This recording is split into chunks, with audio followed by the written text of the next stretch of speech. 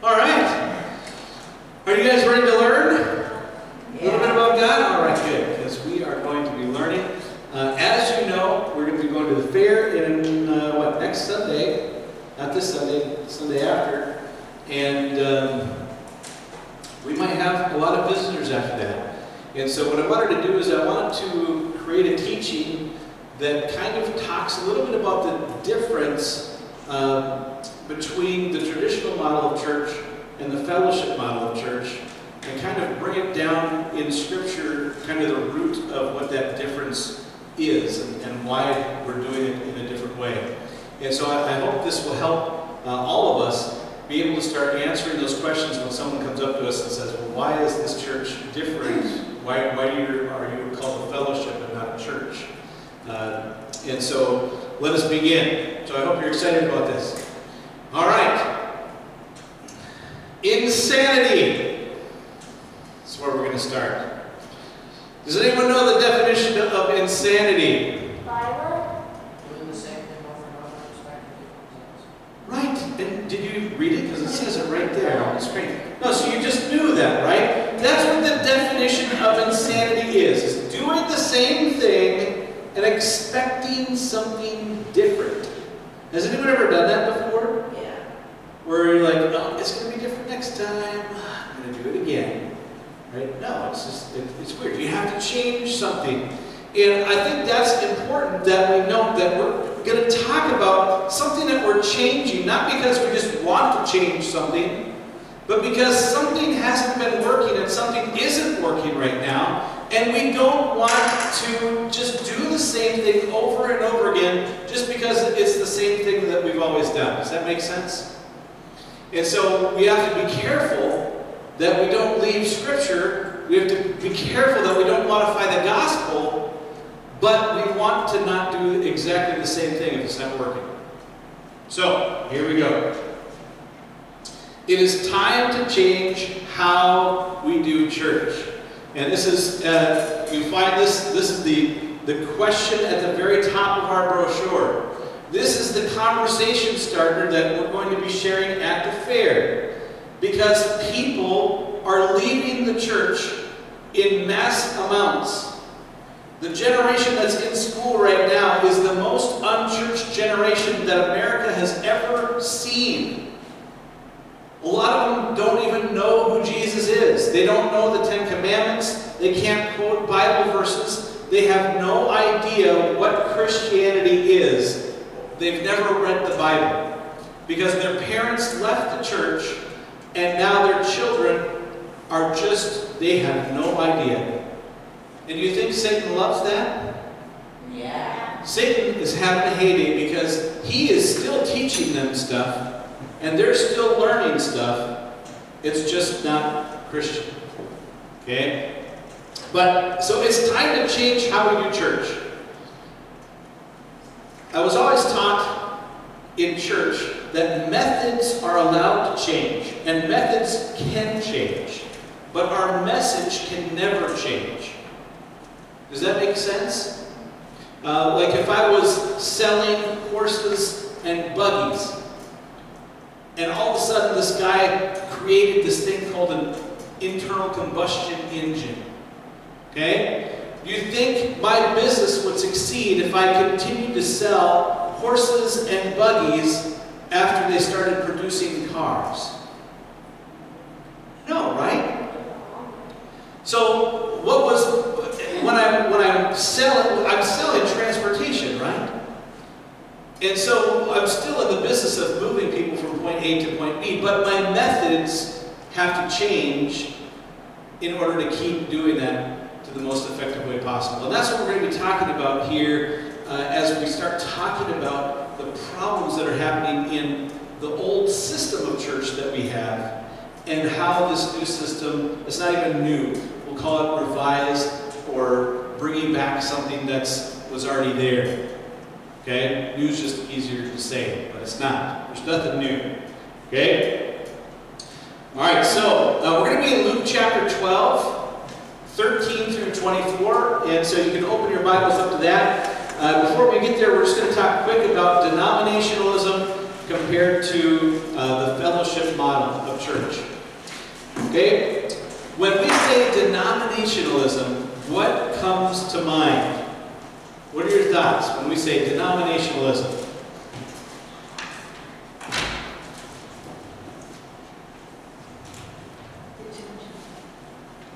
All those differences and separations of. Yeah, separation is a great word. And differences.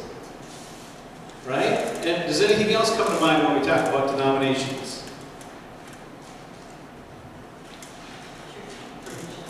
Tradition. Okay? Uh, and so I want to show you a picture of what denominationalism looks like in the body of Christ. Okay? If there was a picture to describe what denominationalism looks like in the body of Christ, it would be this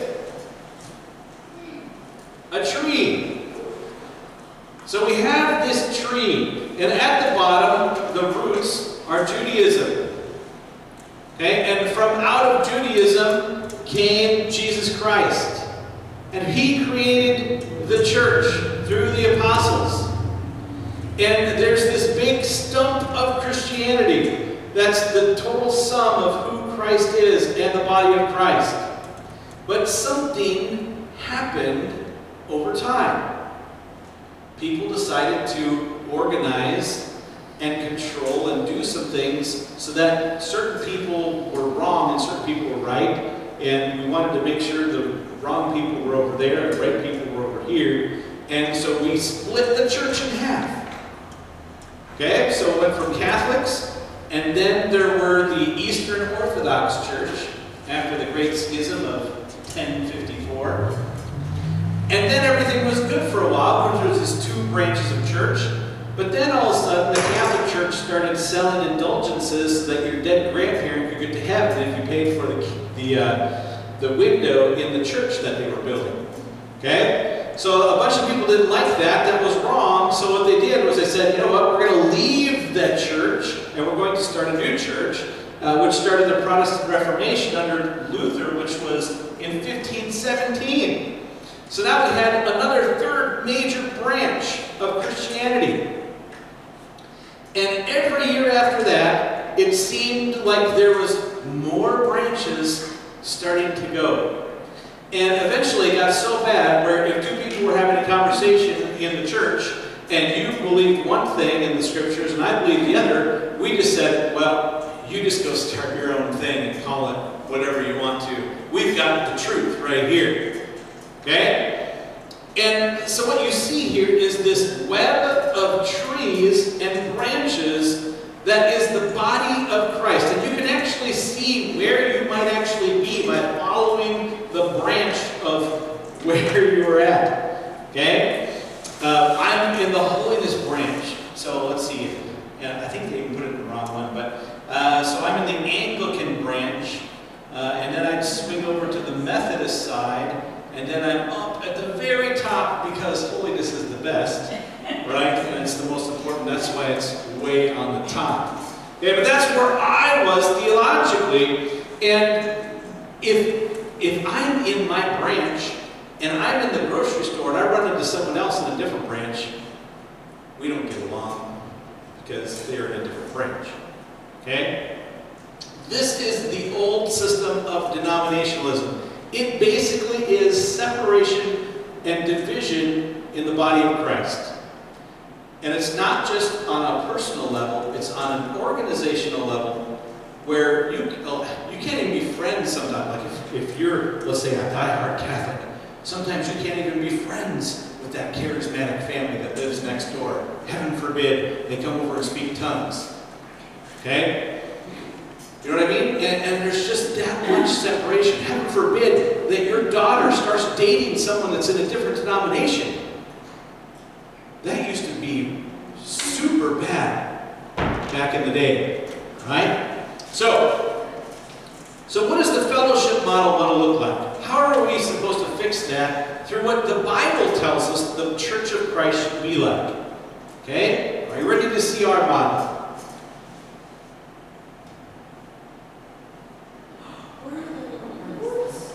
All right.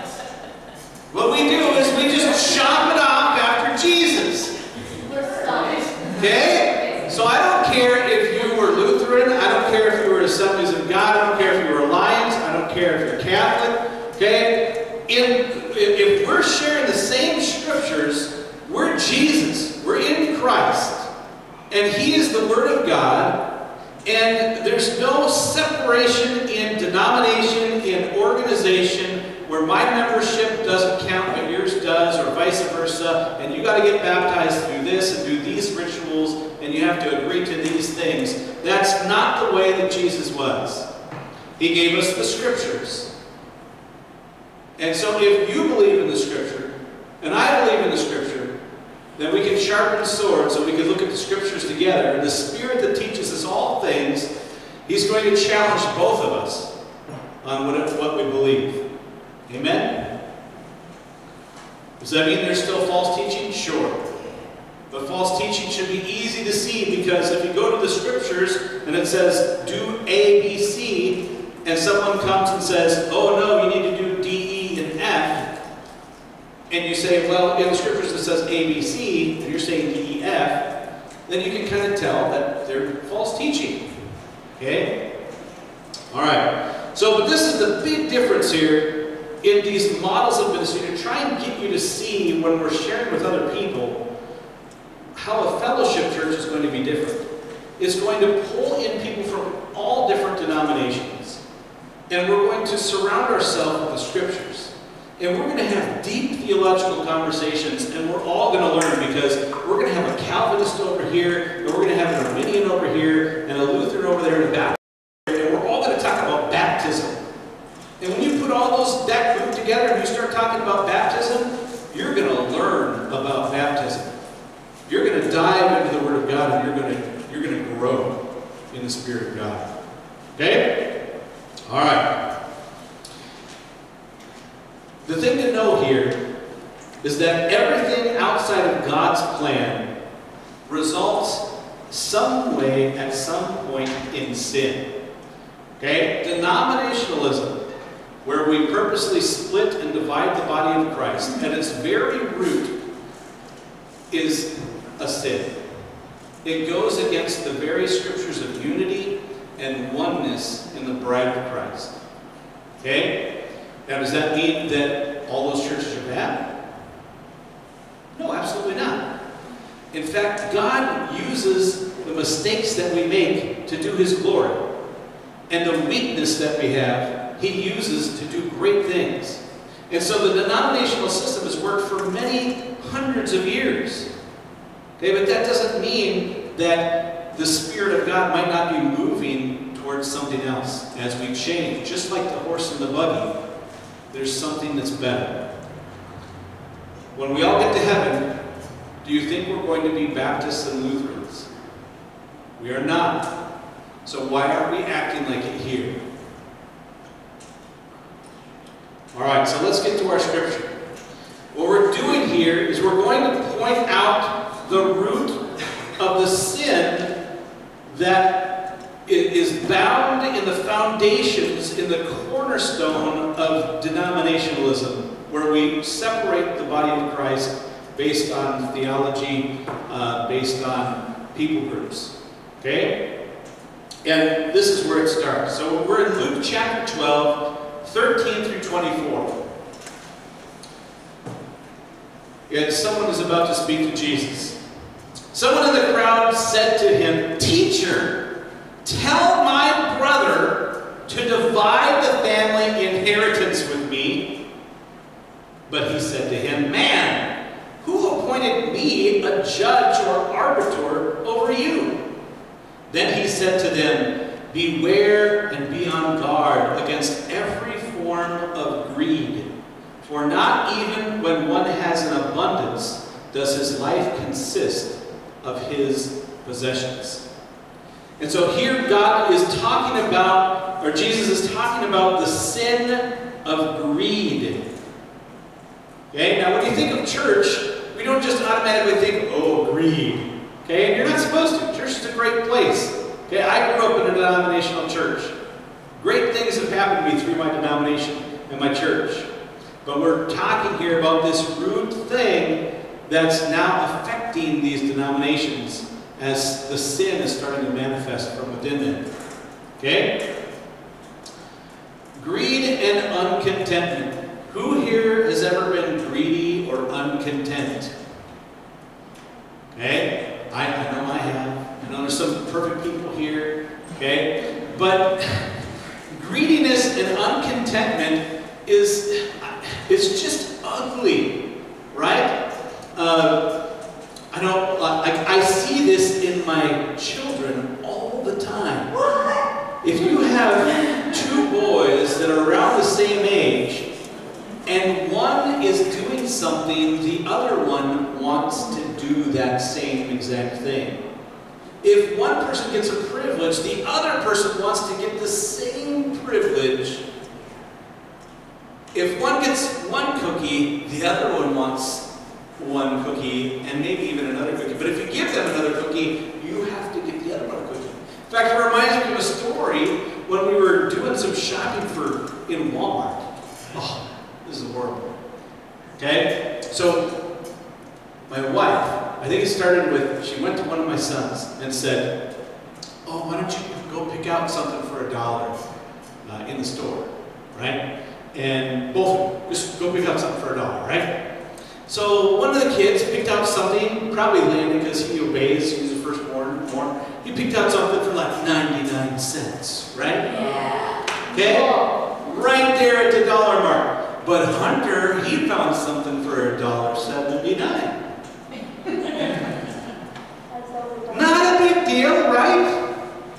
But it was a big deal. Why does he get 79 more cents? Seventy-eight. 78 more cents. And so, you know what mom did? Okay, all right. You could go go buy another uh, dollar thing, right? So he went and bought another dollar thing. So he had two dollar things, and the other son had 178, right? Or 179. So what? What did that other son say? He's got two gifts. I only got one gift. I should be able to get a second gift, right? So he found like a $3 gift That was super excited about. Oh, Mom, I love you. Please, oh, can I get this? Oh, it's amazing. Oh, right? And it just went teetered back and forth until she spent like $60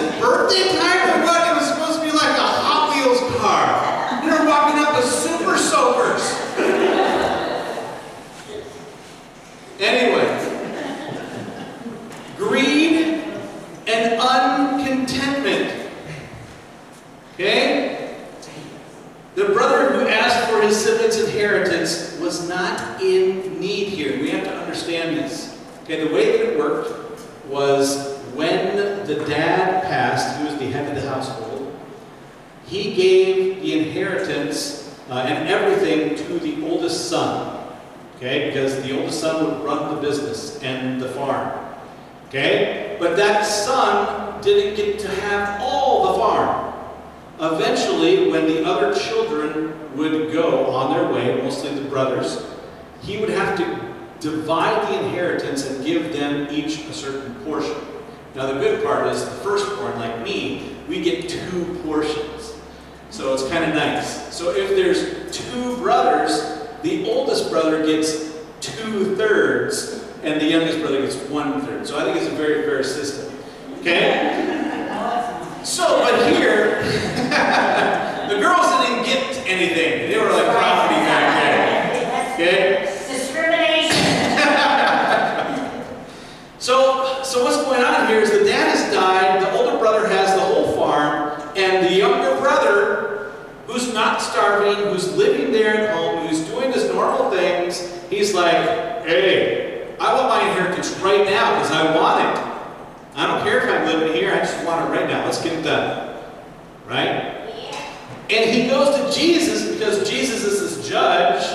You know, he's acting righteously, giving people righteous advice, and he's like, oh yeah, oh, I'm going to get Jesus to tell you to do it, and then you're going to do it. Right? And Jesus is like, I am not your arbiter. Okay? And then he talks about the root of that conversation, which is greed and uncontentment. Okay? All right. Coveting is the sin that flows out of greed and being uncontent. Okay, what does God say about coveting? Yes, it's one of the Ten Commandments. You shall not covet your neighbor. Okay, what they have. You shouldn't strive to have more so that you can have what they have.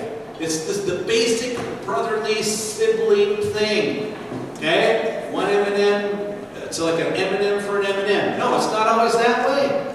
Okay, and, but that's coveting, and that's a sin that grows out of our worldliness. Okay. Jesus shows us that we don't need to seek more or to have equality with others because his life has nothing to do with what we have. Do we remember how valuable his life is?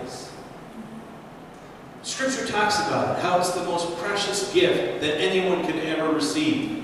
It's so precious that a man would sell everything he had just to have that one gift. It's the thing that we're supposed to seek after, the life of Christ. So, what's happening here is we're supposed to not care about what other people have because we're so focused on this life thing. Amen? That's what our, our focus is. Okay? Alright. So how does denominationalism, this is the old system, like I said, it's a system that's worked for hundreds of years, but how does it promote coveting? What do you think? What are your thoughts?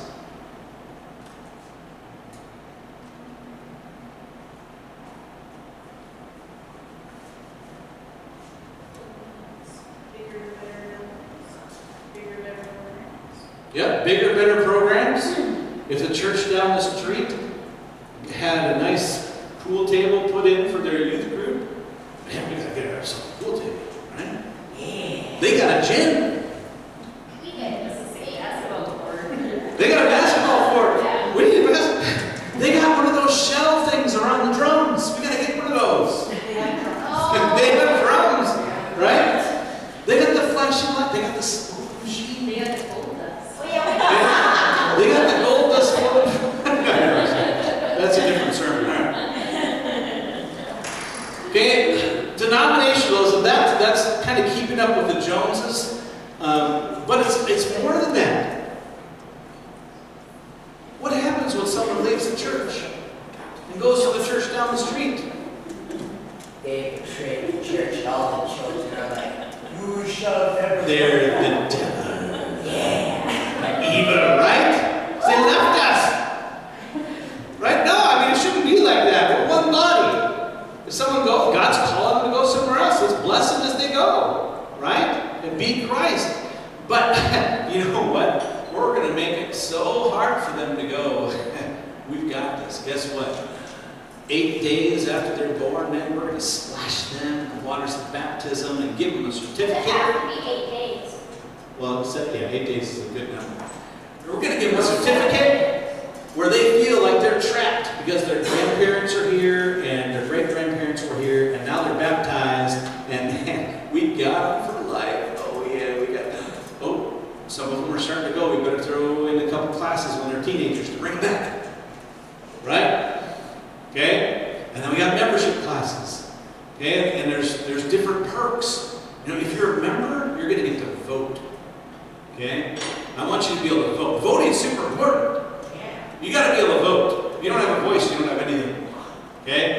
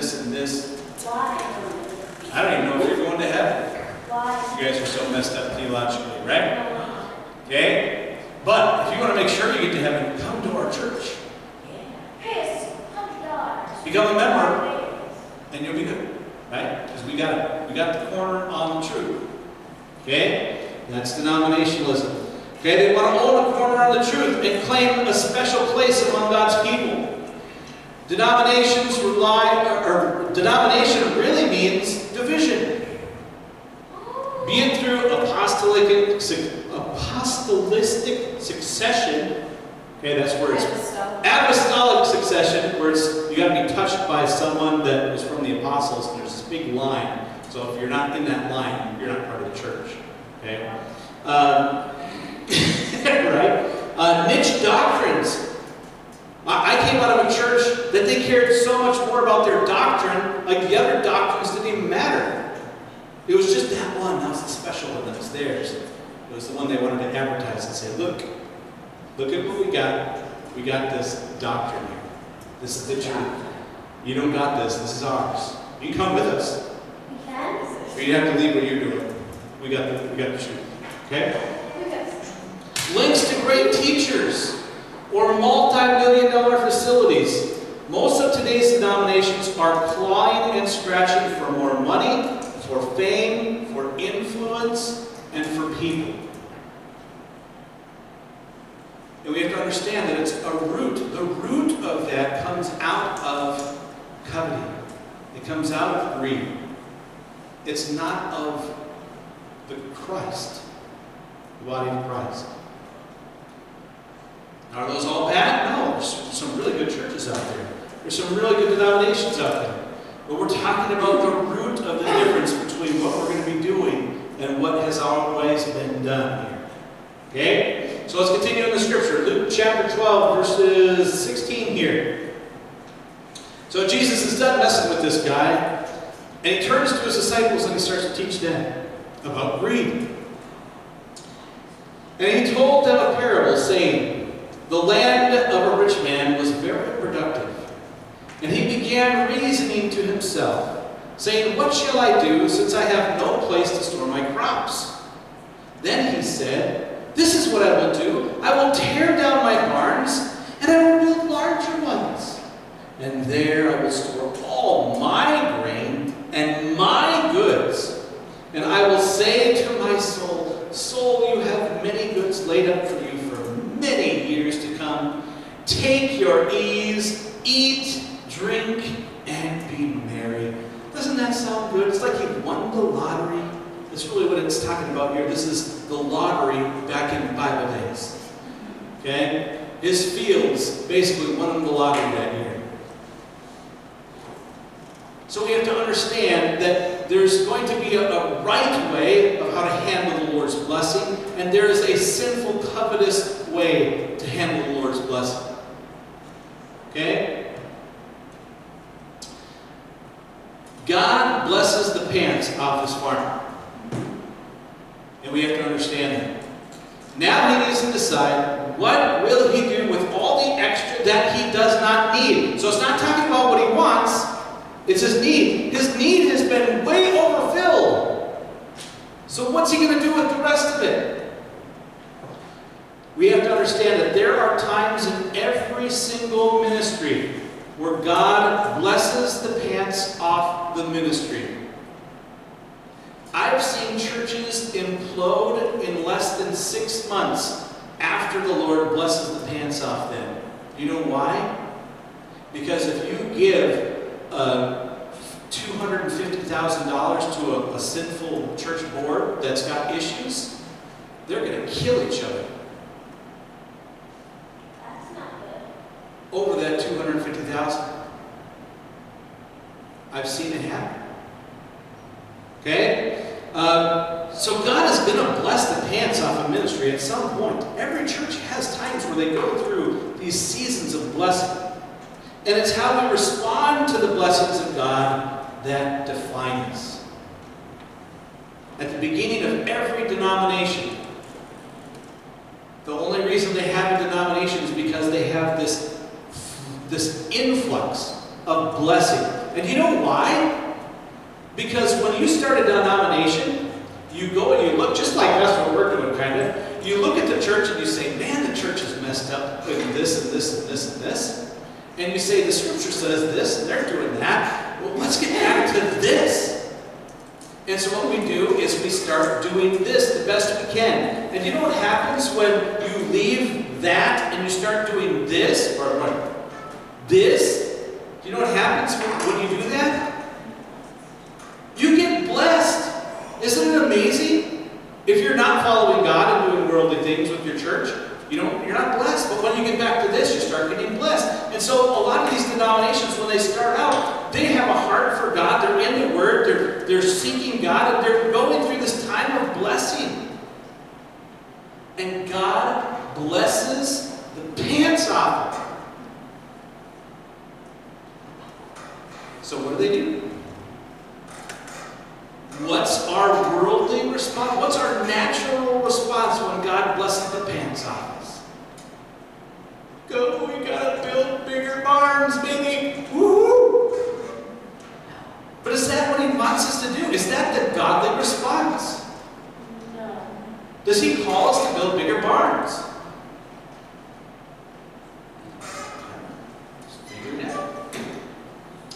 The most important thing to grasp here is that God provided. And if you're going to take one thing away from you from today about what the fellowship model of ministry is about, it's about having a church rely wholly, 100% on God's provision alone. Which is very different from the traditional view of let's create the safest way that we can do church so that we can, can use the gifts that God gives us to the best of ability so that we can serve others. Okay? One is man-sourced of protecting and trying to grow the provision of the Lord. The other way is just having faith that we're going to use up everything the Lord gives us, all of it, and we're just going to pray in faith that tomorrow He gives us what we need and even more to do the same thing every single day. It's a fundamental difference. Okay? But the important thing here is God provided. He will always provide for the things He wants to accomplish. Doesn't that make sense? I mean, it just makes sense. You know that God told Noah, or was it Noah to build an ark? Yeah. Right? He told him to build an ark. Do you think he would provide the wood and the area for the ark to be built? It would just make sense, right? You think he would say to Noah in the desert, Noah in the desert, I want you to build me an ark of gopher wood? No, he wouldn't do that, right? And, and so we have to understand if, if, if this is really God's ministry and He's called us to do great things through His provision, we're supposed to have faith that He's going to provide out of nothing. And He's going to, it's just going to appear like manna.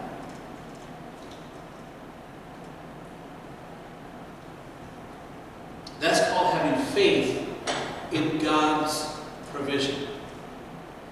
It is a fundamental shift that the church has made a mistake on in the very foundational building blocks as they built the structures and organizations of their religion. So, what mistake did the farmer make?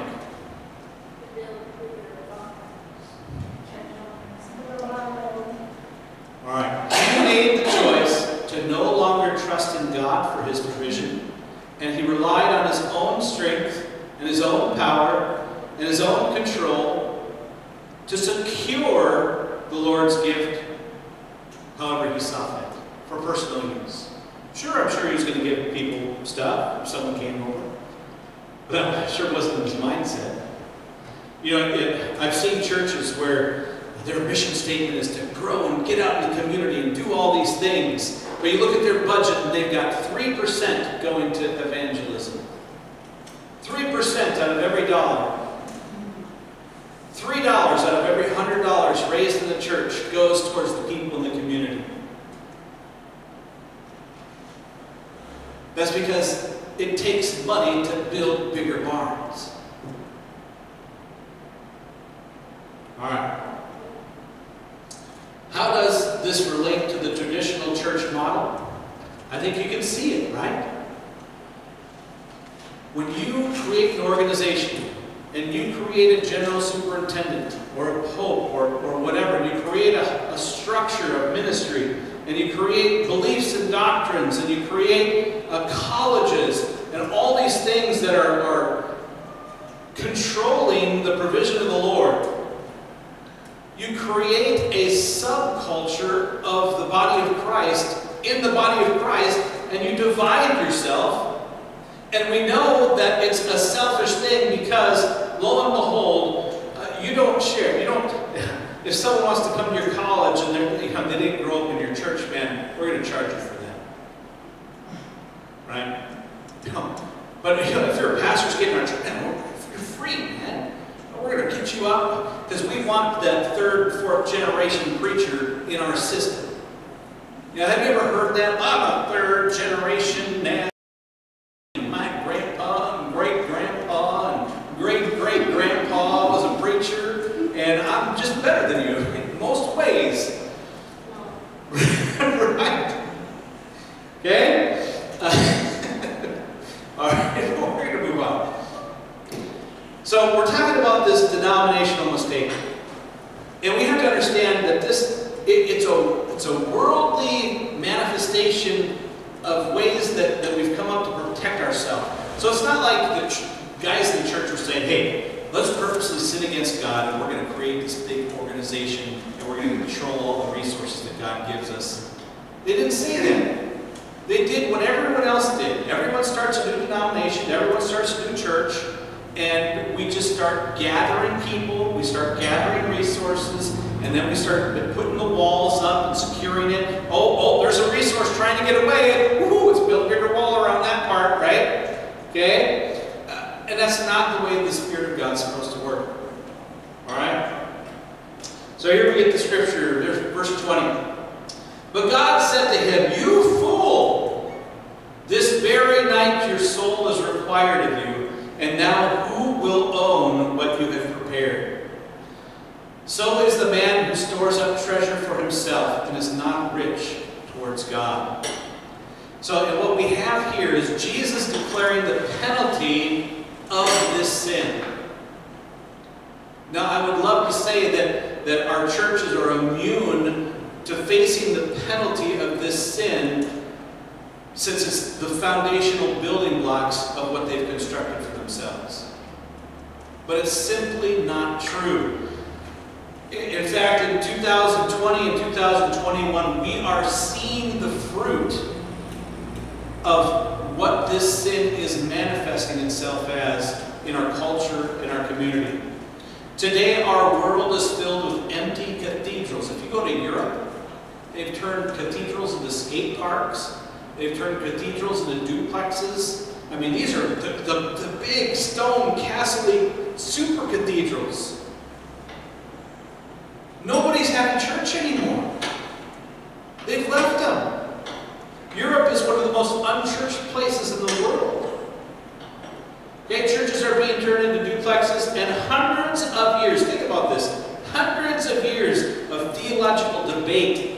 Okay, remember, oh, remember that General Assembly where we voted on this and passed that? Oh, and we really got it right this time. All those discussions, all those things, all those votes, all the religious traditions, they're being forgotten by our culture in less than one generation. Like I said, my generation has walked out of the church. The generation of my children has never heard about Jesus Christ except what they hear on YouTube. And believe me, what they hear on YouTube isn't good. What they hear in the schools isn't good. Jesus is bad. Jesus is judgmental. Jesus is hate. That's what this generation is hearing about Jesus. Okay? Out of the trillions of dollars raised to grow the kingdom of God, the blessings of God are lying dormant in larger storehouses as the life has been taken from their churches and their denominations. We're seeing splits of major denominations uh, over cultural issues that are you would never even have thought about were happening 10, 15, 20 years ago. The church is imploding. Resources are being scattered. Lawsuits are flying everywhere. The church is in a state of turmoil. As we watch this great transformation of Christianity take place in America, we must learn from the mistakes of those who have gone before us and allow God to once again be our provision. Larger barns didn't work. They worked for a while. But then you know what happened? I've, oh, I've seen it. I've seen a group of saints that used to love the Lord, used to be vibrant in their community, used to share faith with everyone they came in contact with. And eventually, the barns needed maintenance. The barns needed repainting. The barns needed re-roofing. One barn fell down, and we had to rebuild that whole barn. And what happened is, is these saints, you'll find these churches where the building is now everything. 100% of their energy goes into maintaining a dead building so they can get together on Sunday morning in the building and worship alone with the light, the back lights off so we can save a little electricity. Is that what God meant for us, His church and His body to be? A dead building with a few people in it? Just, just waiting to close the doors and, and hoping that you're going to get a young pastor that's just going to fix everything real quick. It's a result of a foundational sin that is rooted in the cornerstone of the building blocks of how we constructed our churches. All right? Being rich towards God is to take only what we need for ourselves and to gather what blessing is left and give it away as we love others with the excess. Do you see the difference there? God is going to bless the socks off us and he's going to, woo, man, can, can you, oh man, he's giving us all these people. Oh, we got to keep all these people. No. It's not our goal. We're called to make disciples and send people. How do you send people when you've got a building to pay for? Do you know, I've seen so many times where there's a person that's called a pastor in the church, they're called to preach, and you know what happens? The pastor kind of prolongs it as long as they can. Oh, yeah, oh, oh, I see it, I see it, oh. And then eventually they send them to the systems college and they go there and then hopefully they come back and then we make them an associate in our church for, you know, a certain amount of time and then eventually when we can't hold them any longer and they've jumped through all the hoops and the red tape, we allow them to go take a really bad church somewhere in the woods. Is that what we're called to do? No, we don't want to give them a church right now. Can you imagine this? Someone in your church, they get filled with the Spirit of God and they feel like they want to preach the Word and share the Word with their friends and they start to share with this certain group of people that they interact with all the time. And pretty soon they got 20 people meeting for a Bible study every week and, and it just keeps on growing from there. Is it okay to have another church with the same group of people just in the same town? and say, hey, we're going to help you do this. In fact, you know what? We're going to give you a couple elder families to help these new Christians mature so that you can keep growing this thing. But how in the world do you do that when you got a budget of $3,824 a month? Do you really want to send someone over there? What if they don't come back? What if we send someone that is best friends with someone else and then they don't come back? Do you see the problem? So our church is really trying to expand? No, fundamentally they're not. They're trying to protect what they have.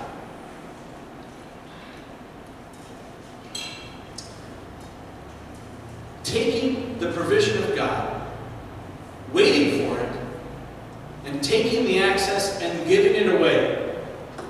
It is the total opposite of covetousness. It's where we humbly get on our knees and we allow God to bless us. And when He blesses us and blesses our socks off, we give thanks. We give thanks for what He gives us, and then we take what we don't need and we give all of it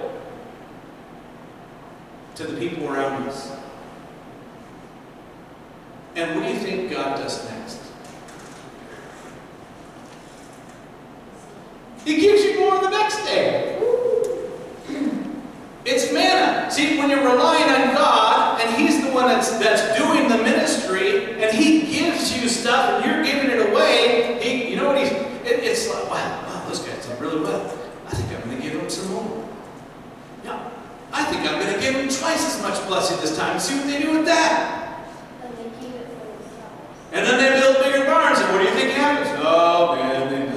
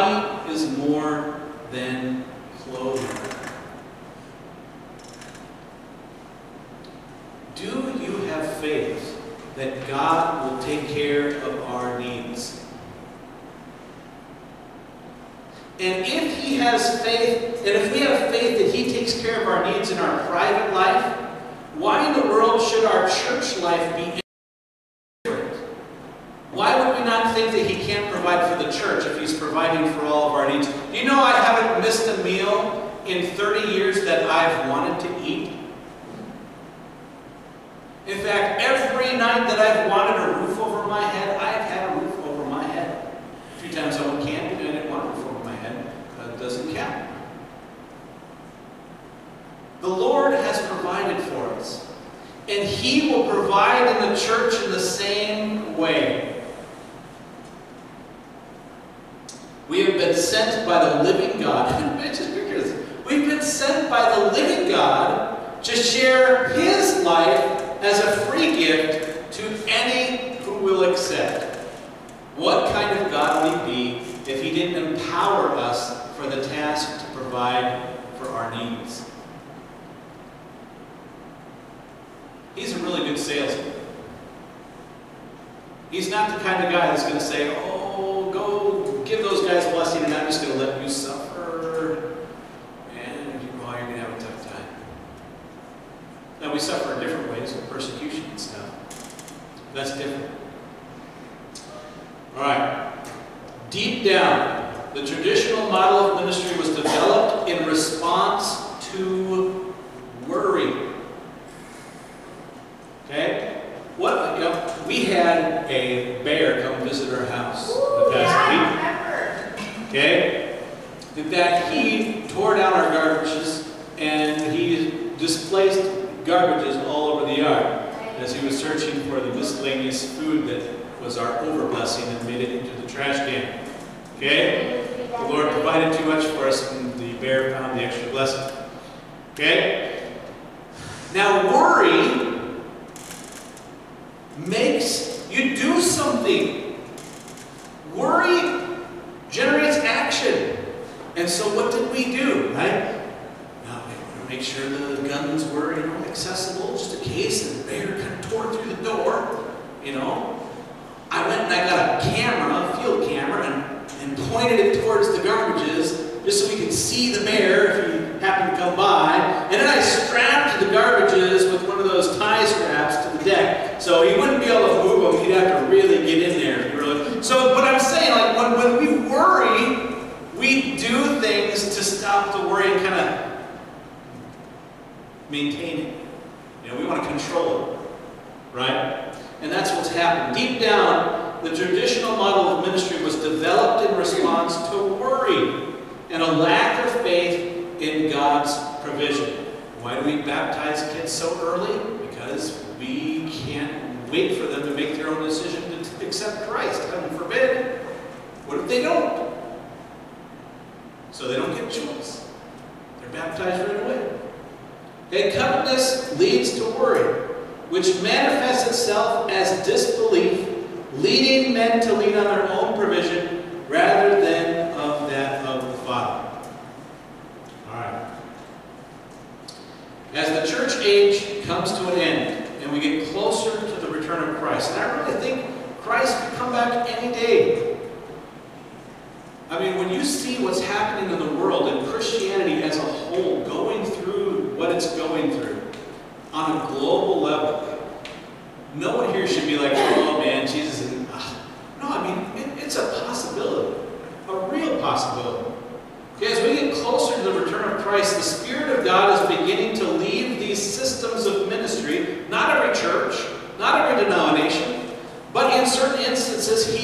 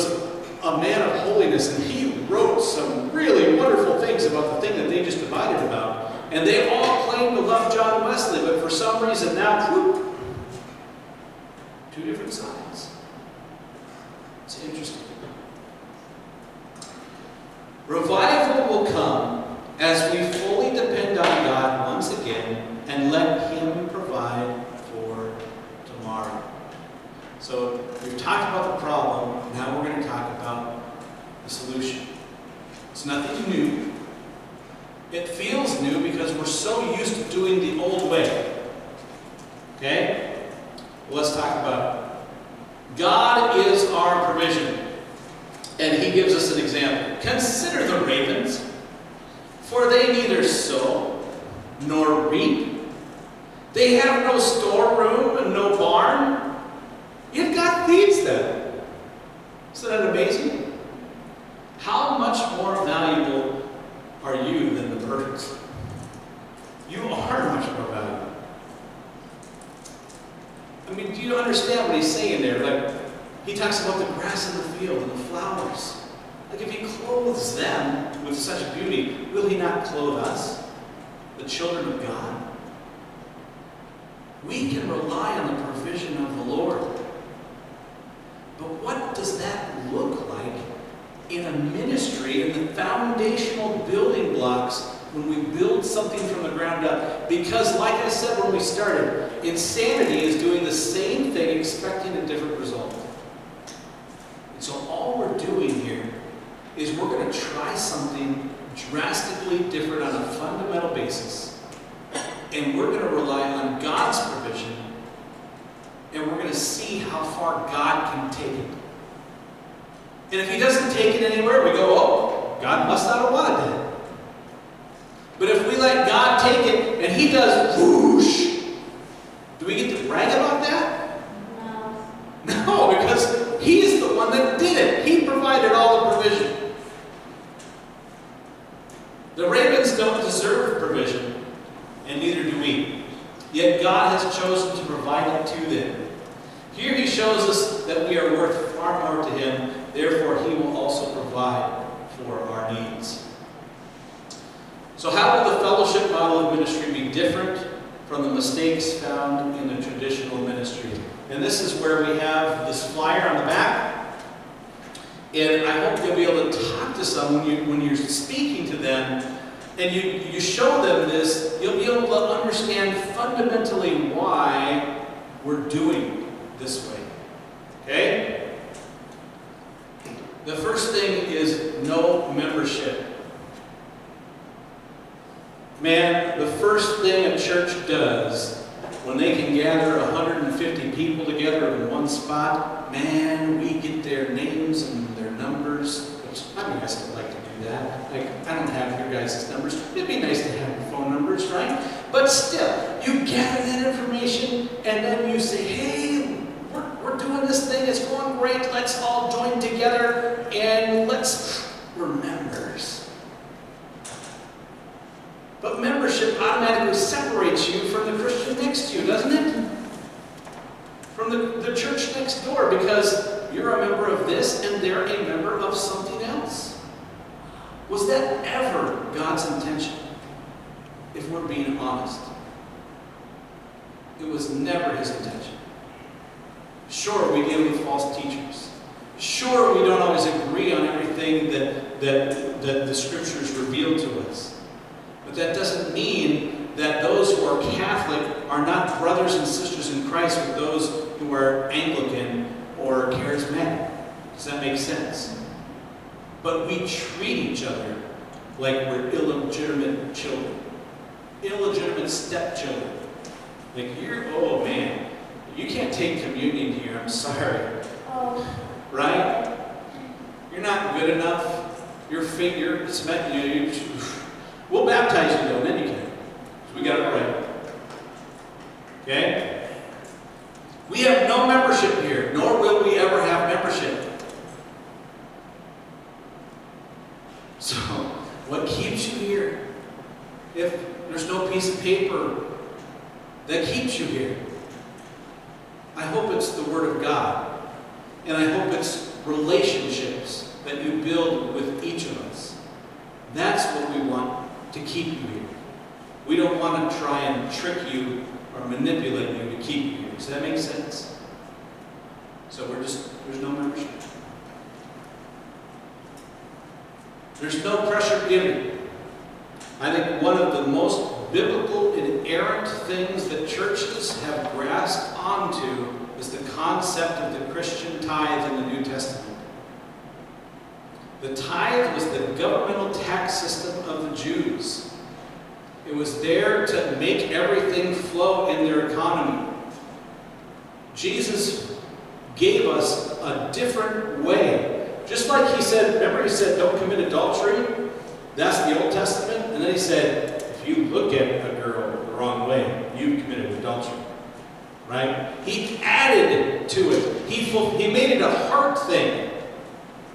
Okay, I know, I know people that have given money to the church religiously for 50 years and they're the worst Christians you could possibly imagine. They're horrible, but they give.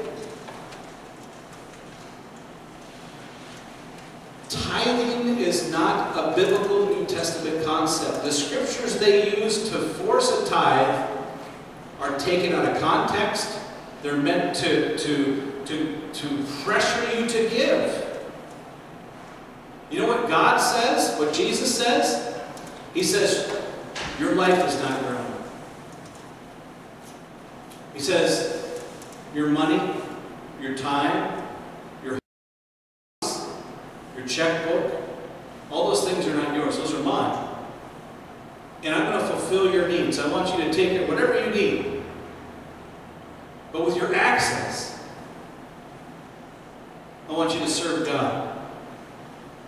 Does that mean give money to a church? No. It means that God is going to put someone in your life. There's going to be a flat tire somewhere. There's going to be someone whose house burned down in your neighborhood where you can give them a couch, where you can go cook them dinner, where, where you can go to Walmart for a, a, a wife that's been kicked out of her house and fill her new apartment with those three kids with food. Because you're fulfilling the needs with the access that God has given you. Let me ask you this. If a church has no building and no assets, how much money does that church need to run?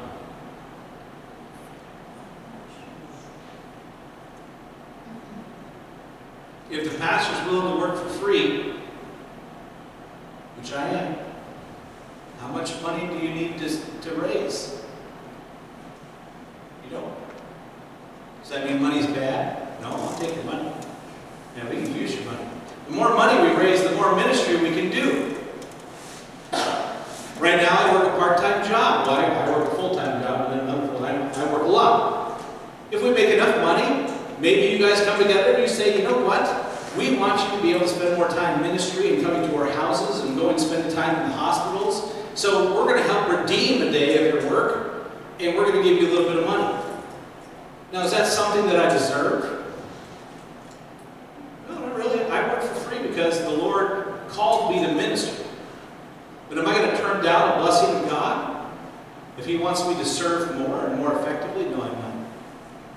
But you see how that's different from tithe.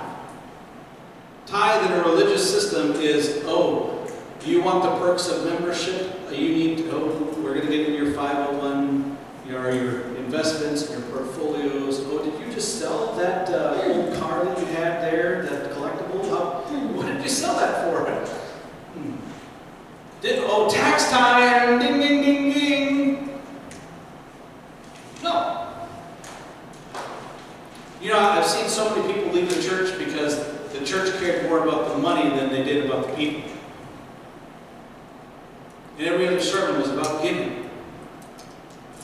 And you know, when the storehouses are empty, how do you get more stuff in the storehouses?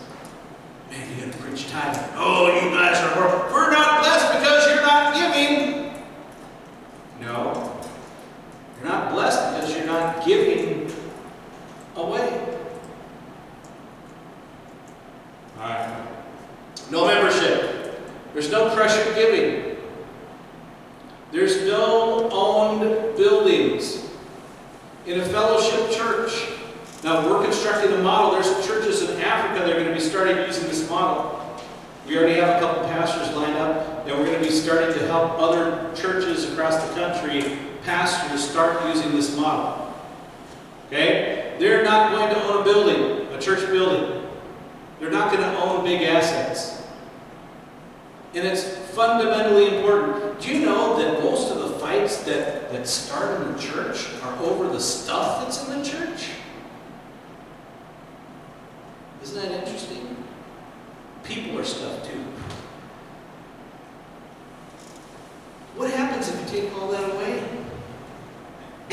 what do you fight about?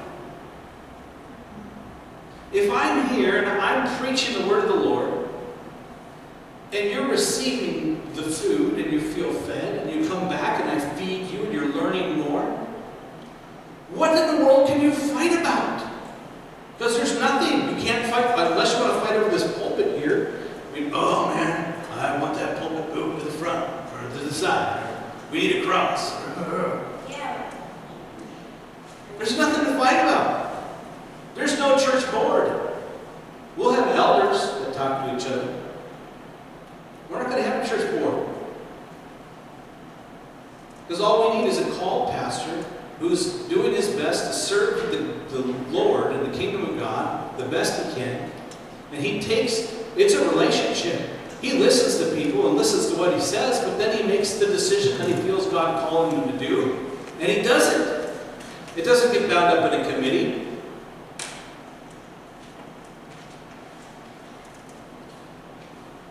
The church is a people, and we invest the excess of his provision into others, not into stuff.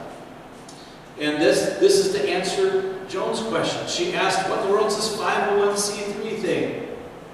Okay? Churches have been tricked over the past 50 years. What happened was, was uh, churches, they're uh, considered a nonprofit. Well, before the definition of a nonprofit, churches were just churches. Okay? Of course you gave to the church because the window needed fixed and you just gave it to the church. Well, what happened was the government wanted to make a special way to give you the title of a church that's a nonprofit so that you could have someone pay for the window and they wouldn't get taxed for it. Well, they weren't taxed before. Now they wanted to tax you or find ways to tax other people. And so they were tricked, and it took a while. It took like 10 years, and then they kept adding enticing things for churches as organizations to become a person under the law. So instead of just a group of people meeting together and learning about God and going home, now we're a person under the law. Do you know that a person, that you can't sue a church unless they're a person under the law? How do you sue a group of random people that meet together spontaneously? How do you take assets of a group of people that meet together spontaneously? You'd have to individually go and tackle each one of them, find their assets, and shake them upside down and see what came out. Okay? Do you know how easier it is now for the government to say, oh, church and all your 150,000 members, you are now a person under the law, and now we can take you to court if you don't do this and you don't do that, and oh, we don't like that, so you can't do that, and there's going to be these penalties if you do this. All these things happen because they are a person under the law. And so they were tricked into taking on a 501c3, and with the large denominations, it's just automatic. Like if you're in a Baptist church, you're part of that Baptist 501c3 number. It's all like the same number. Like the Nazarene Church, it's all linked together. Uh, if the government wanted to sue the church and they did it enough, they could take every single asset that the church has, every building, uh, because they're all linked. Uh, the denomination owns all of it. And so if the denomination is sued, everything would be gone. Now, isn't that a lot easier than persecuting every little individual person that has ever gone to church and turning them upside down and shaking and see what comes out? You know there's no law that says that we can't gather in the freedom that we have in this country and share a religious belief and talk about it and spontaneously worship the Lord. It's a right that we have. And so we're fundamentally saying in this model of ministry that we don't want to be a person under the law. If you want to come after us, you come after all of us. Okay? Now that makes it a little tougher with insurance. So we've had to work out that in our model. So what happens is, has anyone had an Amway business before? Or Quick Start,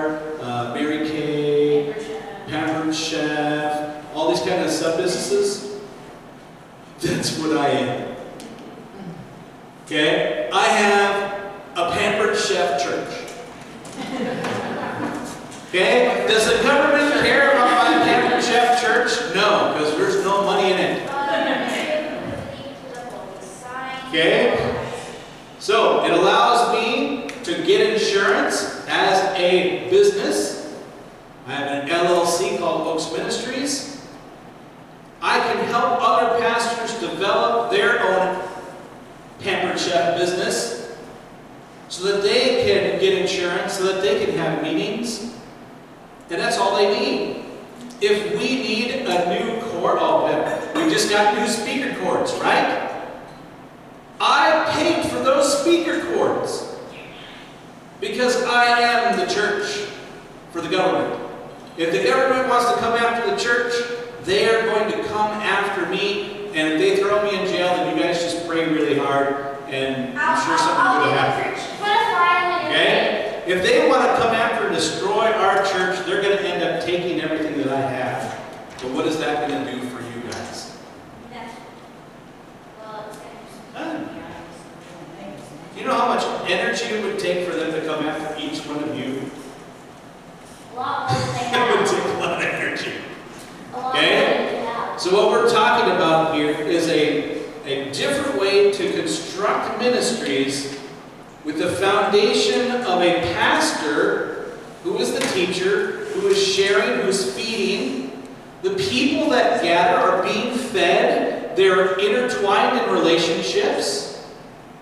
And that's it. There's no assets. We grow. If we grow too much, and Sally Sue in the back, or Sam, he gets called to preach, I'm going to take him under my wing, and I'm going to show him how to, to, to search the Word of God. I'm going to teach him how to build a sermon. I'm going to teach him how to, to share the Word of God. I'm going to bring him with me on, on my visits to the hospital. Okay, and eventually he's going to reach a point where we're going to be able as a church say, we believe in you, let's empower you to start a church. You don't have to move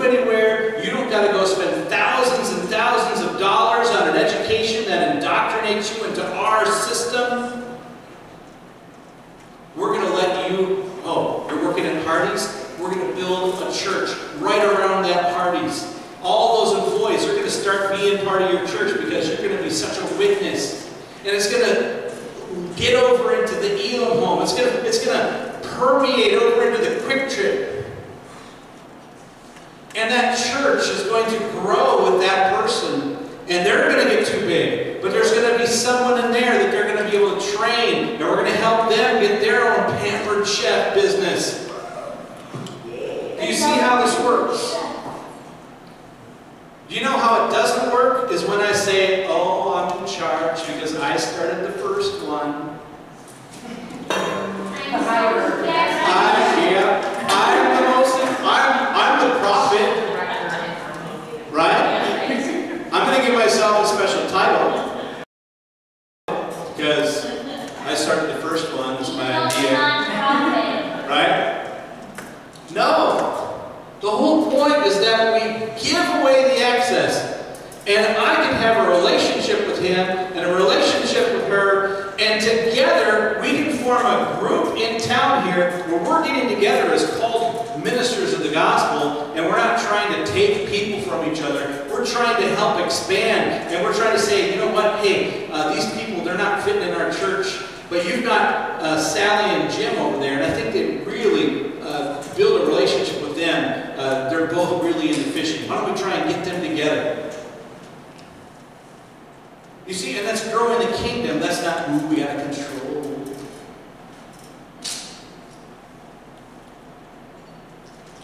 So, I hope you can see this fundamental difference that we're trying to teach here.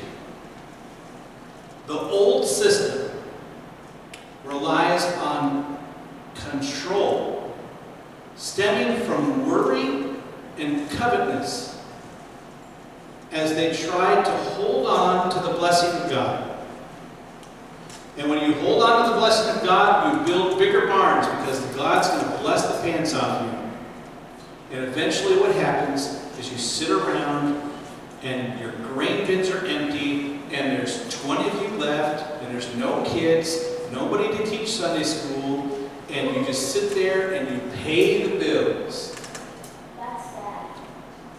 And I know so many Christians right now that that's exactly what they're doing. They're going to spend the next five to ten years wasting their stewardship of who God has called them to be instead of actively ministering to their community. They're going to sit in four walls, complain a bunch, and make sure the target's repaid. So besides all the monetary value and all that great stuff, obviously it's all fellowship. So when people are asking us what we're doing here, and very skeptical people, I'm not gonna lie. Sure. We're pretty much all out here, I've heard it many times. Yes, we are called. So how, besides fundamentals and the monetary value of growing people and, you know, fellowships and taking care of the community, things like that, what are we doing here, teaching here at the fellowship? How are we doing that and what are we actually teaching, I guess? The only thing we teach is- We teach the scriptures. And how do we do that? Our- We take a paragraph, we, I, like, we're going through the book of John, we're gonna get back into the book of John. We take a paragraph, we go verse by verse, and we dig out what God is trying to say to us in that piece of scripture. We don't go to psychology, I don't give you the five ways to have a better life, okay? It's not a self-help thing, we go, wow, man, this is horrible, that just happened. What in the world is God trying to teach us? How, how can we learn about God from this? And we talk about it, and it's a discussion. It's not me telling you, it's a back and forth discussion, and we want to make sure our kids get the same thing that, that we're getting as we pull stuff out of the scripture. Now, if they call that a cult, then they can call that a cult. Because I'm done playing Christianity. I'm done playing the, the red tape. I'm done playing the control. There are people that are dying in our communities and are going to hell because the church fundamentally messed up. And there is such a harvest around us that if we as one body in unity embrace this vision and go out and minister to the lost people that are around us, we are going to have our socks blown off. And we're going to face the same hurdle that these other churches have faced. Because once it happens, and maybe that's why it hasn't happened yet. Once it happens, it could happen in three weeks. We're going to the state fair. Who knows? We might have 55, 60 people here in three weeks. When Jesus blows the socks off this ministry, we have to have the foundation in place that we don't make the same mistakes. Does that make sense? And that's what the people that are, have left the church want. They don't want to be a number. They don't want to be cattle that's corralled. And they want to learn about God. They're biblically illiterate. A lot of them are. They want to know the truth. And we're going to give it to them. And we're going to discuss. And we're going to get uncomfortable. And we're going to leave here sometimes feeling queasy. Because we talked about something that we haven't talked about before. And it's just, woo. What do you got? We talked about membership, basically, even though there is no membership, once you come in, you are a member of the family. You remember the family of God. Yes. And that's why I'm saying this, this is the first week that we lost a family. And, and it's that we have to process that. And there's the worldly part of us that, wow, we lost a family, we did something wrong. Or, or what can we do to keep that family? Or what could we have done different to keep that family? And we have to understand that our job is not to keep families. Our job is to take the blessing that God gives us and share the excellence. And there's going to be families that come in, there's going to be families that go. We want to split, we, we want to plan church splits. And it's going to be exciting when we do that the first time. When, when there's so many people in here, and there's a called person here, and we say, guys, get ready for this. I know it's really fun that there's 120 of us fitting into this small space here. And we have a great worship team because we have like 12 people that play the guitar now. Okay, but we're going to take three of those guitar players and everyone that lives in Foley, because there's like 25 of you guys that live in Foley, and we're going to help you start the ministry in Foley. And we're not just sending you, we're going to help you. We're going to pray for you. We're going to help you find a facility. Uh, if it costs money per month, we're going to help you get that facility paid for until you have the core group there and, and can do that on your own. And then we're not going to charge you for it five years later because, oh, we started you, we need uh, 10% of uh, the royalty fees because Not we're your sponsor. Right. No, we do. so do you see the difference? We are the cult of Milaca. We're Can you say that with us? We are the Milaca cult. I'm okay with that title. Yeah, hallelujah. Okay? But I tell you what, if you see me preaching anything that's outside of this word, you come up and you stand up and you say, this is outside of the word of God. And if we can't agree to disagree on if it's a gray area or something, but if it's blatant and I'm just preaching something that's totally opposite, you're, you're perfectly 100% justified in standing up and walking out that door and never coming back. But you better talk to me first, because you better love me enough to do that. Because I'm not perfect. And, right? And I tell you what, I push the envelope of the Word of God because I'm not afraid to say the things that I feel God's saying to me. And a lot of times that crosses it challenges us. And you will hear truths here that you've never heard in a traditional church because they're unwilling, it's too dangerous to say it. And that's where we have to have faith enough to give each other enough grace that you know my heart and that you know I'm trying to get you closer to God and I'm not trying to get more money out of you. There's no money. A little bit, sorry. Okay? It's okay. right? But you know what? God, but God provides. And you know what? Even if I didn't get paid for 20 years doing this, I get paid in heaven, right? And that's okay. I'm okay with that. He pays really well, I hear. But it won't be money. You know, yeah, one money.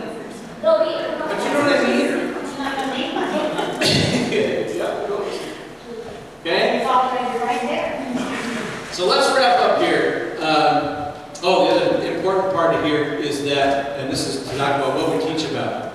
Most importantly, Jesus, or the Logos of God, is our doctrine. We're not going to have doctrines. We're going to have opinions. I have an opinion about baptism. I have an opinion about infant baptism.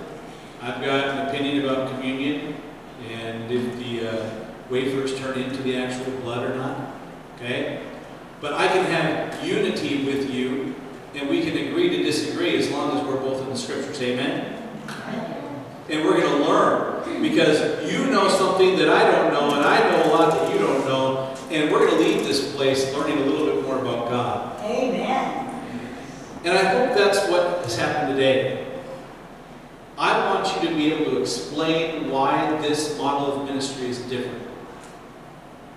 Because people think we're called. And we're not a call. We're trying to honor God. We're trying to have the Lord be our provision. And this is His provision in our doctrine. Amen? If the Holy Spirit is the one teaching us all things, then we don't need. You know, I've seen manuals that are thicker than the Bible. I mean, can you imagine that? Like if Jesus, if Jesus said, you know, 4,000 words in the scriptures, but the church has 8,000 words in their doctrine, do you think there's something wrong there? Right? so,